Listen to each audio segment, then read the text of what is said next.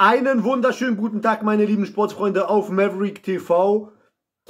Mein Name ist Maverick Berlin und heute machen wir einen kulinarischen Test. Und zwar teste ich einen 27 Zloty Burger aus Polen, Freunde. Hier ist das gute Stückchen. Ja? Ich packe das erstmal vorsichtig aus und dann gucken wir, was das gute, gute Stück denn auch kann. Ja?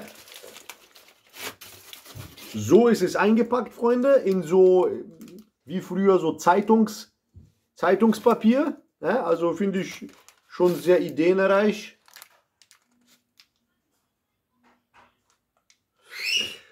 So, und da haben wir das gute Stückchen. Meiner heißt äh, Mexican, The Mexican, also Mexican Style mit Jalapenos. So sieht das gute Stückchen aus. Ne? Mit Sesambrötchen. Würde ich mal sagen, machen wir das hier mal ab. Und jetzt betrachten wir das gute Stückchen mal. Ne? Also sieht schon mal heftig, heftig aus. Falls sich jetzt welche fragen, ähm, was ist es in Euro? 27 Slotty, 5,80 Euro. Ja? Und so sieht es aus. Da haben wir so Chips Mips drin. Oben.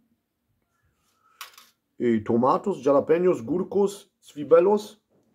Fleisch ist auf jeden Fall äh, kräftig dick. Ne? Jetzt würde ich mal sagen, machen wir das gute Stückchen mal zu und kosten den mal. Ne? Kosten den mal. Schön mit Käse überbacken. Mmh. Mmh. Voilà. Mmh.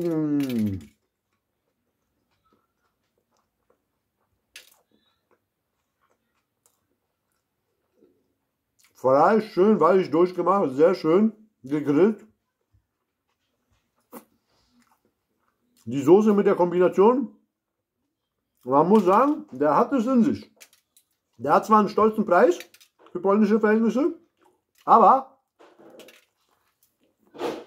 mmh,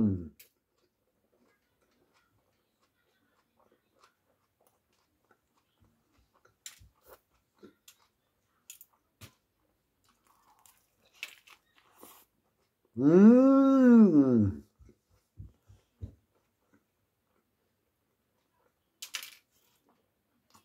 Ich muss sagen,